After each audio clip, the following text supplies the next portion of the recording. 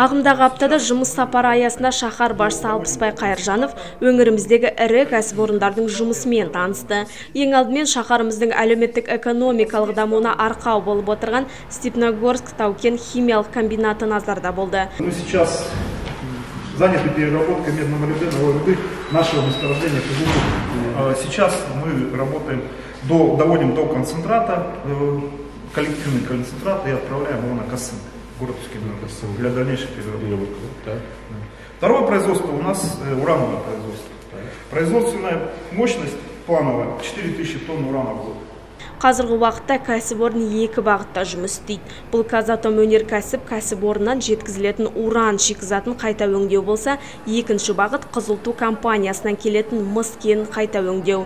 Жауапкершілігі шектеулі Степногорск тау-кен химиялық комбинаты серіктестігінің гидрометаллургиялық зауыты Орта Азиядағы бірегей өндіріс орны. Мұнда уран, алтын, мыс молибден, күкірт қышқылы тәрізді қазба байлықтар өңделіп, ауыр өндірісте аса қажетті өнімдер шығарылады. Кәсіпорынның негізгі қуаты уран өндірісіне бағытталған. Жылына 4000 тонна дайын өнім шығарылады. Өндіріс алпауыты мыңнан астам тұрғынды жұмыспен қамтып отыр. Бұл күні қаламызға іргелес тұрған Сарыка серіктестігінің жұмысы да шаһар басшысына таныстырылды. Бүгінде сирек кездесетін металдар қоспасын өндіретін атаулы кәсіпорын үдемелі индустриялық инновациялық даму бағдарламасын іске асыру шеңберінде пайдалануға берілген. Өндіріс орны әртүрлі шикізат түрлерін термиялық және гидрометаллургиялық өңдеу кешені болып табылады. Зауыт экологиялық стандарттардың барлық талаптарын ескере отырып жобаланған, ал пайдаланылатын технология мен бақылау жүйелері қоршаған ортаға ұқыпты қарауды қамтамасыз етеді дейді мамандар.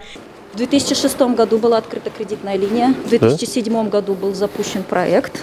Вот с 2007 года производственная деятельность в Степногорске осуществляется. Максимум 6 миллионов в год цветка мы производим. 6 миллионов, да? Да, в зависимости от того, есть ли в году пересадки или нет. 2007 жылдан бастап жұмысын жандандырған құнарлы жылыжайы бүгінде жылына 6 миллион данаға дейін раушан гүлдерін егіп шығарады. Кешендегі раушандар жоғары сапасымен танымал. Жылыжайдың жобалық қуаты күніне 12 мың раушан гүлін құрайды. Кездесуде қала басшысы өнімнің өткізілуіне қызығушылық танытты. Серіктестік басшысы Фатима Ильясованың айтуынша, дайын өнім тек республика аумағында ғана емес, Ресей Федерациясына да сатылады. Жылыжай кешені Голланд мысалында бақыланатын атмосфера мен климаттық бақылау бар өсімдік шаруашылығының технологиялық модуліне ие. Воды нужно.